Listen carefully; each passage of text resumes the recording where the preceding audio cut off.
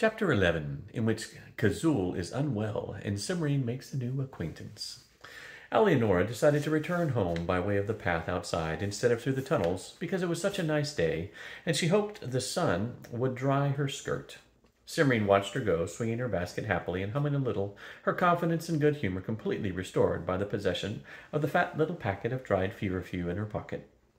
I wish I had as little to worry about, Cimorene muttered, thinking of Woraug and the wizards. She held the burned patch at the end of her sleeve up to get a better look at it in the sunlight and shook her head. Even the magic wardrobe would have a hard time fixing that.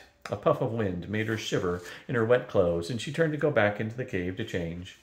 A dark shadow fell over Cimorene, and she stopped and looked up. Kazul, she said, as the dragon landed on the open path near beside her, am I glad to see you. Wait until you hear what's been happening.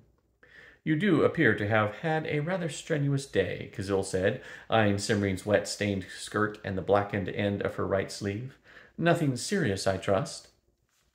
I'm not sure, Cimorene said. Alianora and I went out to pick some feverfew, and we ran into that wizard Antorell. Where was this? Cimorene pointed. Up that way. There's a little round valley off to one side that looks as if dragons never go there, and you found a wizard there? Kazul sounded deeply disturbed. How did he get in? How did you get in? We climbed through a crack in a boulder, Cimorene said. I don't know how Antorell did it. When we, he left, he was heading for the far side of the valley. This is serious, Kazul said, getting to her feet. I'd better warn the king. He'll have to use the crystal now. You'd better hear the rest of it first, Cimorene said. Antorell wasn't too happy to see us, but when he found out that Alianora was Woraug's princess, he relaxed. He seemed to think that Woraug had sent us. What? Cimorene involuntarily stepped back a pace at the anger in Kazul's voice. He thought Woraug had sent us, she repeated, and gave a quick summary of her conversation with Antorell. Woraug. Tail, Kazul's tail lashed, sweeping a small boulder from one side of the path to the other. But Woraug's not a fool, and only a fool would let a wizard into that valley, unless he was sure that they didn't know. What was Antorell doing? Cutting plants, Cimorene said, or rather, cutting a plant. It didn't look as if he took more than one. He wouldn't need more than one if it was the right one, Kazul said tensely. What did he pick? It was a prickly-looking purple thing with saw-edged leaves, Cimorene said, reaching into her pocket. I didn't recognize it, but I thought you might, so I brought a piece back for you to look. What? Kazul roared. Flames spurted from the dragon's mouth, enveloping Cimorene. Steam hissed from her wet skirt, and the thinner material of her sleeves vanished in a crackle of sparks. The handkerchief-wrapped spray of purple leaves, which she had just taken out of her pocket to show Kazul, disintegrated into a dark, greasy-looking cloud of smoke. Cimorene stared at the ashes in her palm, feeling very, very glad that she had decided to test the way the way fresh feverfew would work in the fireproofing spell. She felt a little warm, and her clothes had been reduced to a few charred rags, but that was nothing compared to what might have happened. Now I understand why Alianora ran out of feverfew, she muttered. A puff of wind brushed Cimorene's arms, and she heard a choking sound from Kazul. She looked up, expecting to find the dragon laughing at her remark, and her eyes widened. Kazul's head was thrown back, and her mouth was wide open, giving Cimorene an excellent view of the dragon's sharp silver teeth and long red tongue. Cimorene skipped backward out of reach. Then she realized that the dragon was gasping for air. Kazul, what's the matter? The smoke, Kazul coughed. Her voice was so hoarse that it was hard for Cimorene to understand what she was saying. What can I do? Cimorene said, trying not to feel frightened. Green jar, shelf in last treasure room, because we'll manage between coughs. Hurry! Cimorene was already running through the mouth of the cave as fast as her feet could carry her. She did not even pause as she reached as she snatched up her lamp from the floor just inside the door. It seemed to take forever to get through the twisty passages and the first two caves full of treasure. She skidded to a halt in the doorway of the third room and stood panting, scanning the walls for the shelf and the right jar. She found it quickly and ran back at once, the jar clutched tightly in her right hand. The sound of Kazul's coughing grew louder as Cimorene sped back the way she had come. At the mouth of the cave, Cimorene paused and set down the lamp, then unscrewed the top of the green jar. Inside was a thick emerald-colored liquid, about the consistency of honey. She looked out at Kazul. The dragon's head jerked with each cough, and the scales on her neck were beginning to turn pink around the edges. Uh, for a long, careful moment, Cimorene studied Kazul's movements. Then she leaned back and threw the emerald liquid, jar and all, into the dragon's open mouth, just as Kazul took another gasping breath. The jar landed on Kazul's tongue. The dragon's mouth closed, and she swallowed convulsively. Suddenly, a sudden silence descended. Are you all right now? Cimorene asked after Kazul had taken several deep breaths without a renewed bout of coughing. I will be, Kazul said. She sounded exhausted, and her movements as she slid into the cave were slow and uncertain. What happened? Cimorene said, backing out of the way so Kazul would not even would not have to exert herself to go around. I got a breath of the smoke when the plant in your hand burned, Kazul said as she settled to the floor just inside the entrance. Lucky it was only a breath. I'll need a few days of rest, but that's better than being dead. Cimorene stared at her, appalled. What was that plant? Dragon's bane, said Kazul, her eyes closed, and she slept.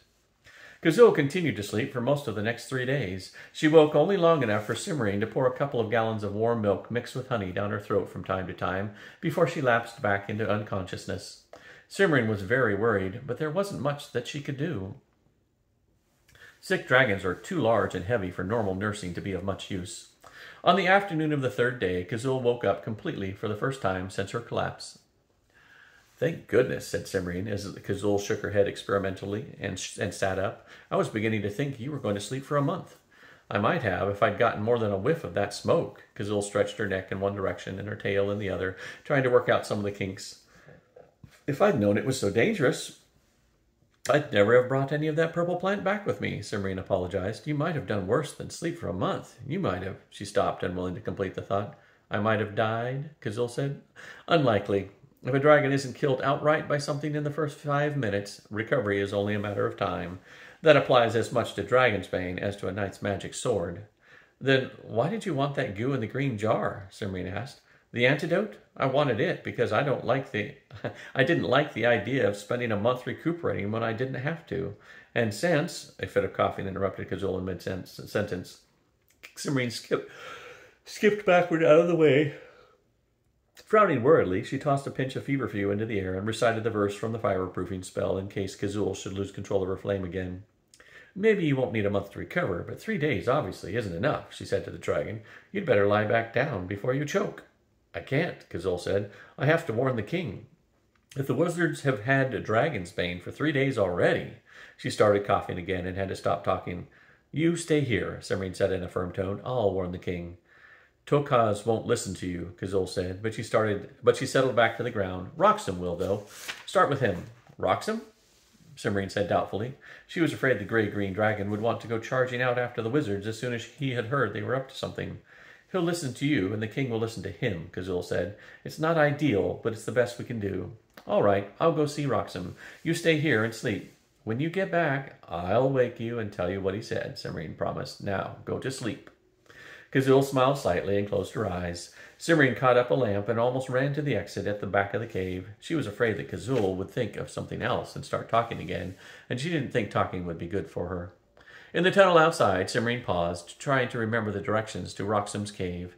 She had memorized a map of, in the library that showed most of the twists and turns of the dragon's tunnels, but she knew from experience that in the miles of gray stone corridors it was difficult to keep track of where she was.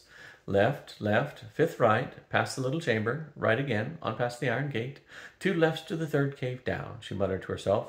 I wish Roxim's cave were closer. Still muttering, she started off. Though she was being very careful, Cimorene had to backtrack twice during the first part of her trip, when a mistake in counting corridors led her to a dead end. When she finally saw the iron gate that led into the caves of fire and night, she sighed in relief. The tricky part was over, and the rest of the trip would be easy. She held her lamp up and quickened her step, hoping to make up some of the time she had lost on her detours. Then, as she reached the bars that blocked the entrance to the caves of fire and night, she stopped short. There was someone sitting on the ground on the other side of the gate. Cimorene had almost missed seeing him, and no wonder his clothes, though well cut, were the same dark gray as the stone of the tunnel walls and he was curled into a lumpy, dejected ball. He looked like a large rock. If he hadn't moved his hand as she passed, Cimorene would never have realized he was alive. The man on the other side of the bars raised his head, and Cimorene saw with shock that his hair and skin were the same dark, even gray as his clothes. His eyes, too, were gray, and their expression was apologetic. Forgive me for startling you, the man said, climbing ponderously to his feet. I didn't see you coming. He made a stiff, formal bow. Who are you? Cimorene demanded, and what are you doing in there? I'm a prince, the man said in a gloomy tone, and I'm reaping the rewards of my folly. What folly? The prince sighed. It's a long story. Somehow they always seem to be long, Cimorene said. You haven't come to rescue me from the dragons, have you? Because if you have, I'm not going to let you out of out of there. I haven't got time to spend uh, an hour arguing today. I have no interest whatever in dragons, I assure you, the prince said earnestly, and if you would let me out, I would be extremely grateful. Um, who are you, by the way? Cimorene, princess of the dragon Kazul, Cimorene said. She studied the prince for a moment and decided that he looked trustworthy. All right, I'll let you out. Turn around and put your fingers in your ears. What? the prince said, looking considerably startled. It's part of the spell to open the gate, Cimorene said. She wasn't about to let him overhear the words Kazul had used to unlock the door, even if he did look trustworthy. The prince shrugged and did as she directed. Quickly, Cimorene recited, By night in flame and shining rock, open thou thy hidden lock. Alberolingarn. For an instant, nothing happened, and Cimorene was afraid she had not remembered the charm correctly. Then the iron gate swung silently open.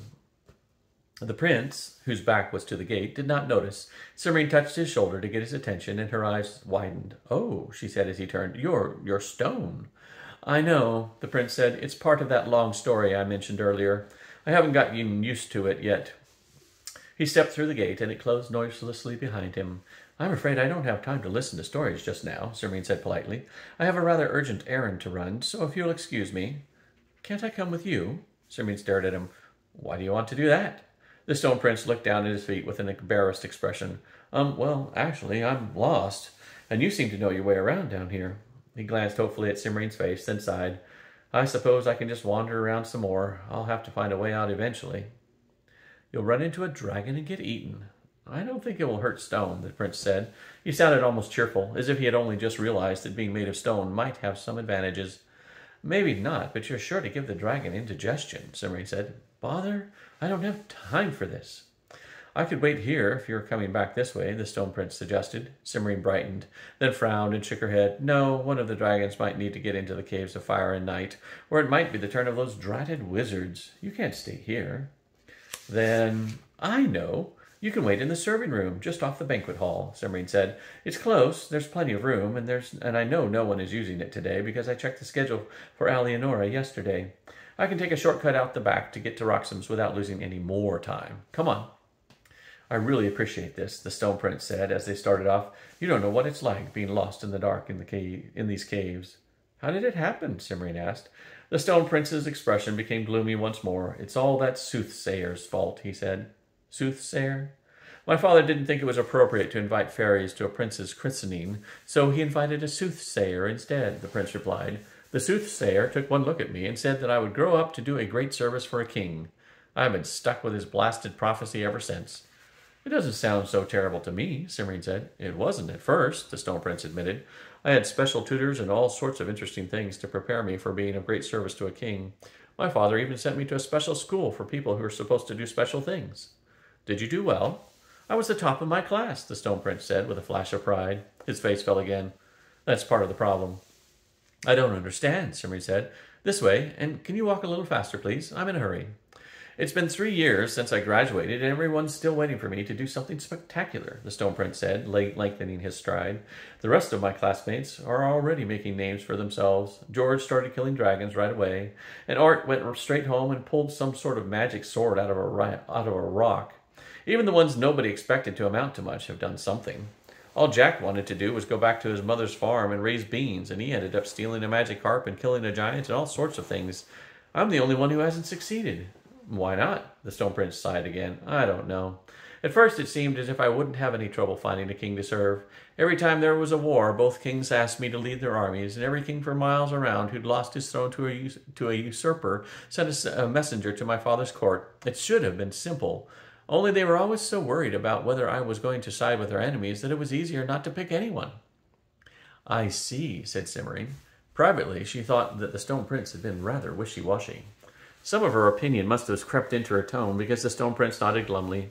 You're right. It was a mistake. As long as I didn't pick a king to serve, all the messengers and ambassadors and envoys stayed, hoping to persuade me. The inns around the castle were stuffed with them, it got to the point where I couldn't show my face without at least three of them pouncing on me. Finally, I couldn't stand it any more, and I ran away. It was a relief at first, not having ever, not having everyone hovering over me, waiting for me to do something great. But after a while, I started to feel uncomfortable. Then I realized that even if nobody around me expected me to do something special in the service of a king, I expected me to do something. I was so flustered that I ran up to the next palace I saw and asked whether the king needed any services done.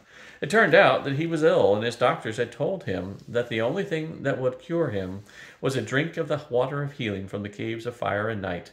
So I left to get it done. I left to get it at once. So that's why you what you were doing, Cimorene said. The stone prince gave her another gloomy nod. I should have known better. That king had three sons, and the first two had already gone off to get the water and failed. Anyone with sense would have seen that the youngest son was the only one who could who would succeed. It sixed out all over. But I was too eager to go to do my great service and get it over with, and I didn't stop and think. What happened? It took me a long time to find the caves of fire and night, but once I did, it wasn't hard to find the water of healing. The chamber's getting crowded. All the princes who've tried to get the water and failed have been turned into slabs of rock. I know, I've seen them, Cimorene said. Watch out for your head. The ceiling is low along here. Then you know what it's like, and you've seen the two dippers on the wall by the spring. The stone prince's shoulders sagged. I knew I should use the tin one. It was one of the first things we learned at school, but I thought it wouldn't do any harm if I just looked at the gold one. So I took it up off the wall, and as soon as I touched it, I started to stiffen up. Mmm, said Simri. The stone prince was obviously well aware of how foolish he had been be or he had behaved. She saw no reason to make him feel more feel worse by pointing it out to him again. So I stuck my arm in the spring, the prince said. You stuck your arm? Oh, I see. That was clever, Cimorene said. Do you really think so? the stone prince asked, seriously. I thought that since the water from the prince spring is going to turn all the slabs of stone back into princes when somebody finally succeeds in the quest, then the water ought to keep me from turning into a slab of stone in the first place. Only it didn't work the way I expected, he finished disconsolately. I can see that, Cimorene said. But at least you can still do things. It would be much worse to have to lie there waiting for the right prince to come along and break the spell. I wouldn't have had to lie there very long, the Stone Prince said. That king's youngest son is going to arrive any day now. I just know it. Anyway, if I were a slab of stone, I wouldn't know about it until it was all over and I'd been turned back into a prince again. How do you know? Cimorene demanded. Have you ever been a stone slab? The Stone Prince looked startled. No, I haven't. I never thought of that. Well, start thinking now, Cimorene said tartly. Here's the service room. Wait here for me, and don't go wandering off if I'm late if I'm late getting back. I don't know how long this errand is going to take, and it would be very awkward for me if the dragons found you roaming through the roaming through their tunnels. I'll remember, the Stone Prince promised. But what do I do if someone comes in? Duck into the banquet area, Cimorene said, showing him. And if someone comes in there too, curl up in the corner and pretend you're a rock. All right, the prince said doubtfully. Cimorene did not like leaving him, but she was even less enthusiastic about taking him to see Roxim. Roxim probably wouldn't object to the prince himself, though Cimorene suspected there might have been some difficulty over his proposed theft of the water of healing.